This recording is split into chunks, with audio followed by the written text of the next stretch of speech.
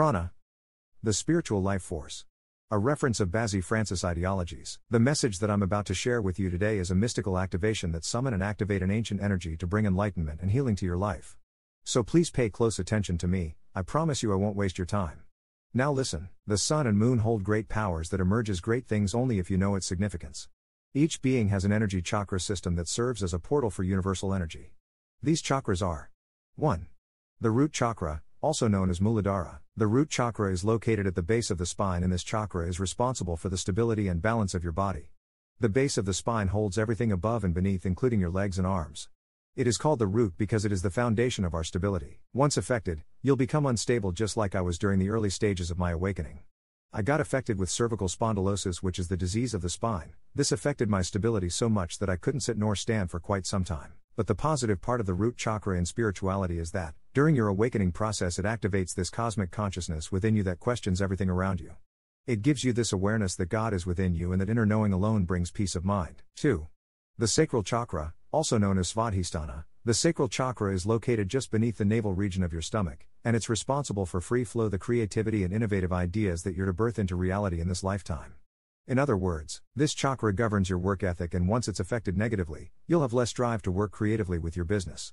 This is so important to your existence because it unites everything. 3. The solar plexus chakra, also known Manipura. The solar plexus is your self confidence in yourself, and this is what makes you feel confident in your own skin without the validation of others. You feel confident to chase your dreams persistently without hesitation. It also governs your something everyone needs to stay here on earth, and that's what I call abundance. Abundance could be manifested in forms like wealth, good health, relationships, etc. Once it's affected, you become weak and scared to approach people to express yourself freely. You become less motivated in your business and everything becomes a thing of fear for you. 4. The heart chakra, also known as Anahata, the heart chakra governs the heart and its rules are love and emotional body. This is where we freely express true love, kindness, compassion without no fear or hatred in it. Now everything that is good also has bad too. If your heart is blocked, you are prone to hate, deceit, envy, jealousy, and unnecessary competition for success, power, and attention. 5.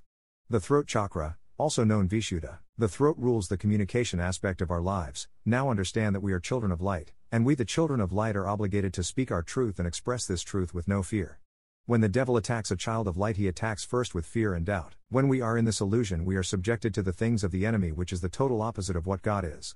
Satan is hate, envy, pride, jealousy, etc. He wants to be God and can never be God. There is only one supreme God, and that is Elohim, the creator of all things.